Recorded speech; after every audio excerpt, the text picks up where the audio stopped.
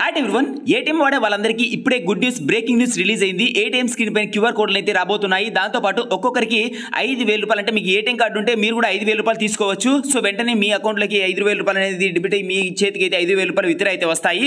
ఎలాంటి ఏటీఎం లేకపోయినా కూడా మీరు ఐదు వేల రూపాయలు అయితే తీసుకోవచ్చు. సో దీని గురించి వీడియో తెలుసుకుందాము. ఇప్పుడే మనకి ఇంపార్టెంట్ బ్రేకింగ్ రూల్స్ వచ్చాయి. వెంటనే ఈ విషయాన్ని తెలుసుకోండి. లేకపోతే మీ ఏటీఎం కార్డు కూడా క్లోజ్ అవుతుంది.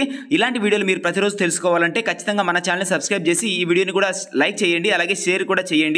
అయితే మొత్తం దేశవ్యాప్తంగా మనకైతే బ్యాంకుల ద్వారా కొత్త స్కీమ్ అయితే తీసుకురాబోతున్నారు కొత్త రూల్స్ అయితే తీసుకురాబోతున్నారు. ఇక్కడ నుంచి ఏటీఎంల పైన మీరు వెళ్ళిన వెంటనే స్క్రీన్ పైన క్యూఆర్ కోడ్లు అయితే కనిపించబోతున్నాయి. ఆ క్యూఆర్ కోడ్ను స్కాన్ చేసి మీరైతే డబ్బులు అయితే విడ్రా చేసుకోవచ్చు. ఒక్కసారి ఐదు వేల వరకు లిమిట్ అయితే ఉంటుంది. అయితే మీరు రోజుకు రెండు లావాదేవీలు మాత్రమే తీసుకోవచ్చని మనకైతే చెబుతున్నారు. ఇది అందుబాటులోకి వస్తే మొత్తం దేశవ్యాప్తంగా ఉన్నటువంటి ఏటీఎం సంస్థలన్నీ కూడా నిలిచిపోయే అవకాశం ఉందని ఇప్పటికే నాలుగు వందల మంది మిలి- మిలియన్స్ పైగా క్యూఆర్ కోడ్ స్కాన్ చేయడానికి తగిన మొబైల్స్ లేవని రాబోయే రోజుల్లో పూర్తి స్థాయిలో యూపీఐ క్యూఆర్ కోడ్ స్కాన్ ద్వారా మాత్రం మీరు డబ్బులు విత్డ్రా చేసుకునే విధంగా తీసుకురాబోతున్నట్టుగా చెప్పారు. సో ఎవరికైతే ఏటీఎం కార్డు ఉంటుందో మీరు ఏటీఎం కార్డు వెళ్ళి ఏటీఎం కార్డు ఒకవేళ పిన్ మర్చిపోయినా లేదా ఏటీఎం కార్డు మీ దగ్గర లేకపోయినా డైరెక్ట్గా మొబైల్ నెంబర్తోనే మీరు మొబైల్ ద్వారానే ఏటీఎం స్క్రీన్ పైన క్యూఆర్ కోడ్ వస్తుంది. ఆ క్యూఆర్ కోడ్ను స్కాన్ చేసి డైరెక్ట్గా మీరు డబ్బులు అయితే విత్డ్రా చేసుకోవచ్చు.